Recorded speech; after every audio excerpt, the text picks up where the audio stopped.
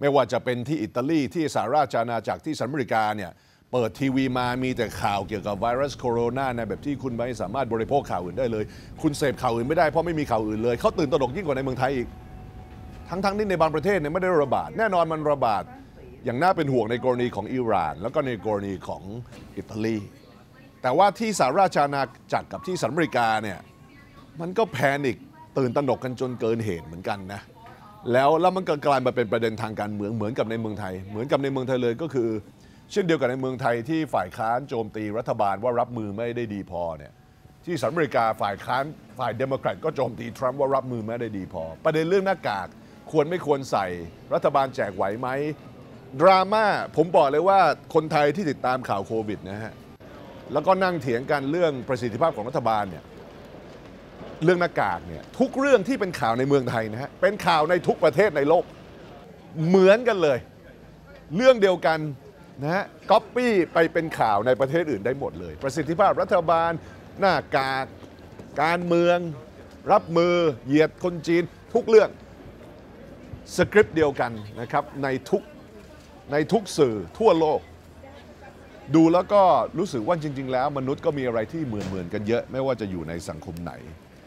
สิ่งหนึ่งที่แน่นอนที่เหมือนกันก็คือภาวะที่เศรษฐกิจมันซบเซาขนาดเฟดต้องลดอัตราดอกเบี้ยทีเดียว 0.5%เสร็จแล้วพอลดคนยิ่งตกใจบ้าอ้าวว่าเศรษฐกิจมันจะพังพินาศใช่ไหมเลยต้องลดดอกเบี้ยหุ้นเลยตกเลย ทั้งที่ลดดอกเบี้ยเพราะว่ากลัวไวรัสโคโรนากระทบ ลดไปลดมาสิ่งที่ชัดเจนก็คือว่าเฮ้ยนอกเหนือจากความที่หุ้นมันตก แล้วดอกเบี้ยมันลดลงเนี่ย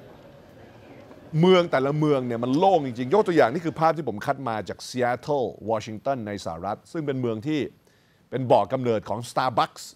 Seattle Coffee ด้วย Seattle's Best Coffee SBC เนี่ยนะฮะ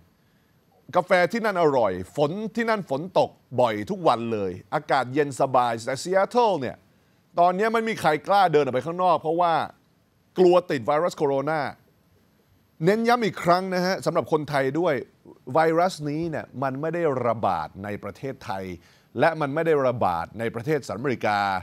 มันไม่ได้ระบาดในอังกฤษแบบที่เป็น pandemic อะไร มันยังมีโรคอื่นอยู่ที่อัตราการตายสูงกว่าไวรัสโคโรนา มันระบาดในจีน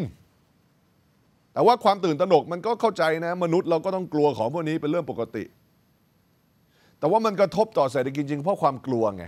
ไม่มีใครไปเที่ยวไหนแล้ว ไม่ต้องพูดถึงเที่ยวต่างประเทศหรอก เที่ยวในประเทศยังไม่ค่อยอยากไปกันเลย แล้วนั้นไม่ได้พูดถึงเมืองไทยนะฮะ พูดถึงอิตาลีพูดถึงอังกฤษ พูดถึงอเมริกา พูดถึงอิหร่านเนี่ย ไม่มีใครออกจากบ้านแล้ว คนไม่อยากจับจ่ายใช้สอยแล้ว เพราะฉะนั้นสำหรับคนไทยในช่วงสงกรานสงสัยจะมีดีลดีๆสำหรับโรงแรมที่พักในสถานที่ท่องเที่ยวเที่ยวในเมืองใหญ่ ๆ ในจังหวัดท่องเที่ยวของไทยแน่นอนในช่วงสงกรานปีนี้ เพราะว่านักท่องเที่ยวจะไม่เข้ามาเลย ให้ดูรายงานชิ้นนี้ของ Yahoo นะครับพูดถึงว่าโคโรนาไวรัสมันมีผลกระทบต่อผู้ประกอบการรายย่อย ซึ่งไม่มีรายได้มากเพียงพอที่จะทำให้ตนเองอยู่ผ่านช่วงนี้ไปได้ แน่นอนร้านอาหารในเครือใหญ่ ๆ หรือห้างสรรพสินค้าหรือโรงแรม ที่เขาอยู่ยาวเนี่ยนะฮะผ่านช่วง 6 เดือน 7 เดือนนี้ไปได้ก็คงจะโอเคพอถึง high season ปีหน้า แต่ว่าธุรกิจขนาดเล็กขนาดกลางบางทีเนี่ยถ้าไม่มีไม่มีลูกค้าในช่วงระยะเวลา2-3เดือนเนี่ยนะฮะ เขาจะเสียหายถึงขั้นต้องปิดกิจการ เขาไม่สามารถปิดกิจการชั่วคราวได้ เขาต้องปิดกิจการถาวรนั่นคือสิ่งที่น่าเป็นห่วง หน้ากากขาดแคลนสำหรับทุกประเทศที่เผชิญโควิด อันนี้เป็นข่าวผมให้ดู TMZ TMZ อันนี้ข่าวในสหรัฐอเมริกา Coronavirus sparks shortage for crucial supplies hand wipes ด้วยนะฮะทิชชู่เปียกอะนะฮะที่ที่เขาชอบใช้กันอะเอาไว้เช็ดมือแล้วมันทำความสะอาดด้วยนะฮะก็